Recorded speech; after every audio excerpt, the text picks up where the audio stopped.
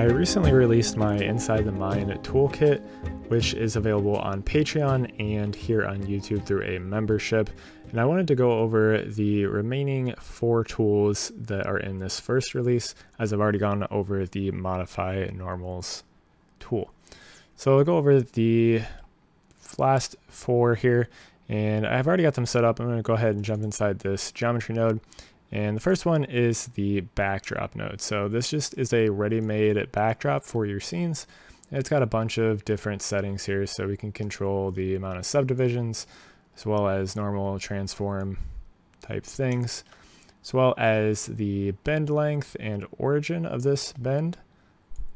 So we can fully customize the, the way this ramp looks. We also can switch it over to a box backdrop if we would like, and again, we have controls for this as well, different transform settings as well as subdivision. And then as you see, we already have the capsule in here. So this is a new capsule primitive. Um, you have your different primitives inside Houdini. So your sphere, your tube, all of those. You're kind of missing the capsule. So got different settings here. Obviously got the radius so we can control on each axis. I also have the end cap radius, so we can control that. We can squish it down make it essentially a tube. Um, another feature that we have, if I just go ahead and adjust our middle divisions here, we can adjust the middle of our capsule here with a spline, which is not something that really makes a lot of sense when it's called the capsule primitive, but uh, something that's not super difficult to add in here and you can make some interesting shapes with this as well so figured I would just keep that in there. And then the last tool that we have here is the displace along normal tool. So this basically just does what it says. You can displace your geometry along the normals that you have set up. So you could use this in combination with the modify normals node if you would like.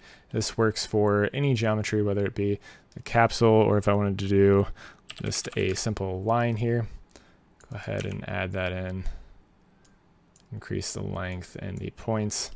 And we will need some normals for this, so we'll do modify normals and we'll just do uh, normals pointing away. As you can see, actually, let's let's do uh, let's actually set the normals. I lied. So that we don't have them just displacing upwards. And if I just alt and drag this along, you can see that we now have this along our line. And then again, we have controls for the orientation of this displacement. So let's set the direction to the x-axis, and then we can come along to our modify normals. Let's change this to be up in the y direction.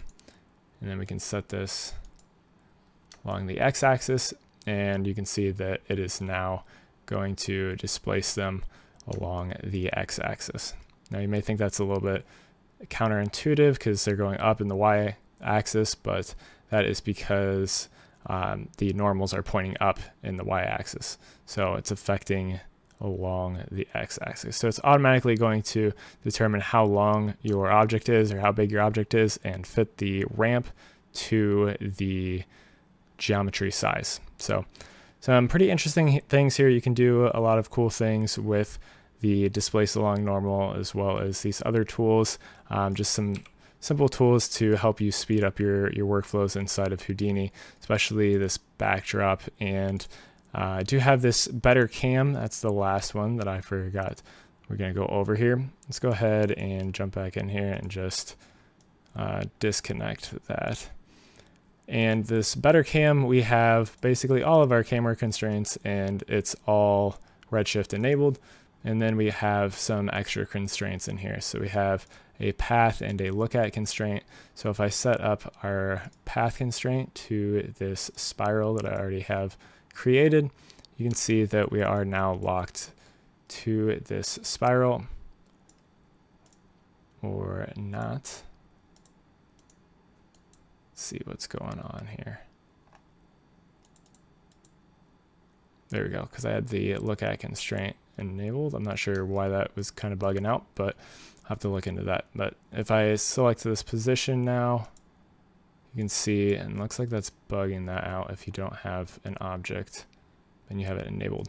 So if you just move this along the position, you can see that it's moving along the object. And if we enable this look at constraint and we actually do give it an object, which we'll just do this null here, you can see it's now going to look at wherever we have this null. So if I go ahead and move this around, you can see that it's going to move our camera.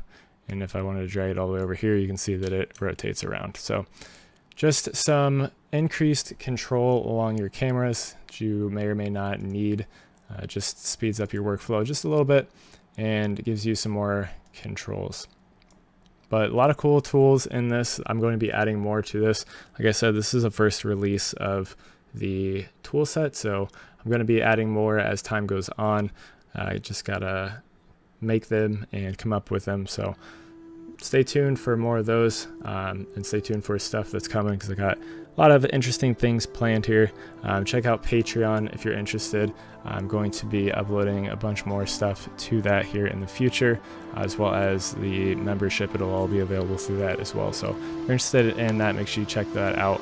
But anyways, hopefully this helped you out and you guys enjoy these tools. Thank you for your support and have a good day.